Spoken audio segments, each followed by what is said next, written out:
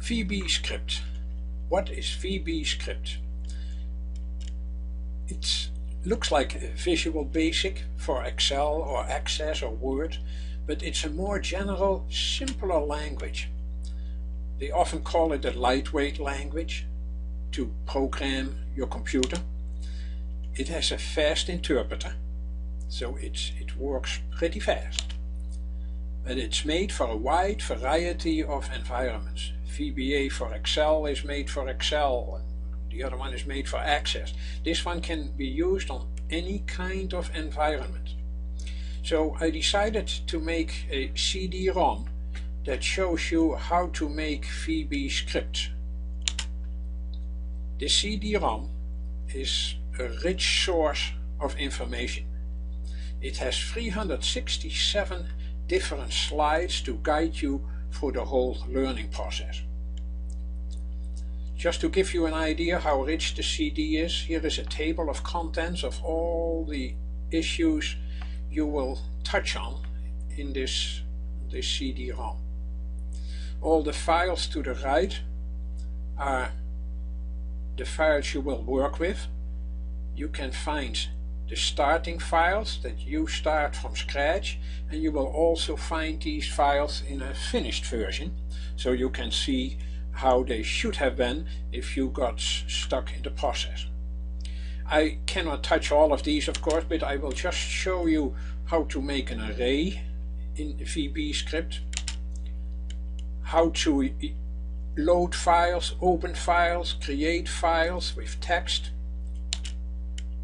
and I will show you how to mobilize Microsoft Outlook and maybe other Microsoft programs.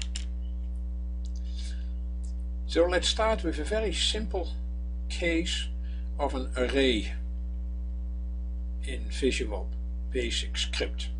You declare an array and in this case I, I used an array of users and passwords so Mary has as the password secret and John has the password secret 1 and the array is basically a two-dimension that you can use. Uh, most of the slides also have a set of questions. A multiple choice question to make sure that you understood what you have done so far. So if you want to add the user N, which answer would be correct? And when you click on one of these options, it either does not do anything or it takes you to the next slide if you click on the right button. to show you that it gives you a very thorough explanation of VB script. It shows you the structure of VB script with all the subsystems. And in case you want to create text files or open text files or copy files, you will need the scripting section file system object. How do you access all of this? That is done with the first line in the VB script. Notice that all VB script files are saved as VBS, so they can be accessed from anywhere on your computer.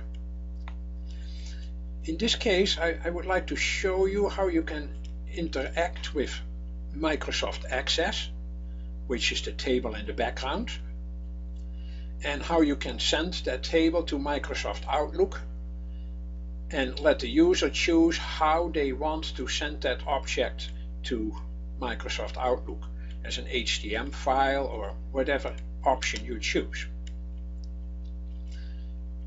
To show you what the result would be, in this case we are sending the Outlook calendar from Microsoft Outlook uh, and send it through our email system, in this case Outlook, to whoever you want to send it to. And of course it has a question again, which functions do we need to do all of this? Here are some examples of final files. The first one is going to uh, ask the user how long has the employee been with the company and then according to its his or her salary, it calculates the date of hire for this employee. By default, it's the beginning of the year 2000. Let's say the salary is 45,000. that is 13 years of seniority, so that person qualifies for a 7% bonus, which is $3,150 based on the salary. A similar situation is done to start the calendar and it starts on June 21st in this case and it gives you every week what the calendar is. A very simple situation of a VBS file. What an array it shows you first what the unsorted list is, January through December, and we are going to sort it alphabetically, so it came up with the following list. It's a very simple sorting algorithm. We can also interact with it. will open Excel. It will create a series of sales amounts, either from another file or by a random number generator. It asks you, do you want to calculate the sales tax? If you say yes, it is going to do that. It finds out how many rows we have. We have 10,000 rows in column A. We have just one column. The sales tax is 2 million something. And it's going to calculate for every entry what the sales tax was for that specific amount of money. It did that through an array and it pasted that into Excel. Outlook. We look in the Outlook calendar in my Outlook calendar there happen to be 442 appointments. I'm going to mail it to someone. I'm just clicking OK. So it has no sent to information, otherwise it would. And it showed me all the appointments from going back from 2028 to the beginning of my calendar in 2009. It will not select anything unless you put in your code that you just want this for specific dates. So where do you find all of this? VB script CD-ROM published by MrExcel.com. You can also purchase it through Amazon.com. I hope I have excited you about this great tool and I wish you good luck in becoming a VB script expert.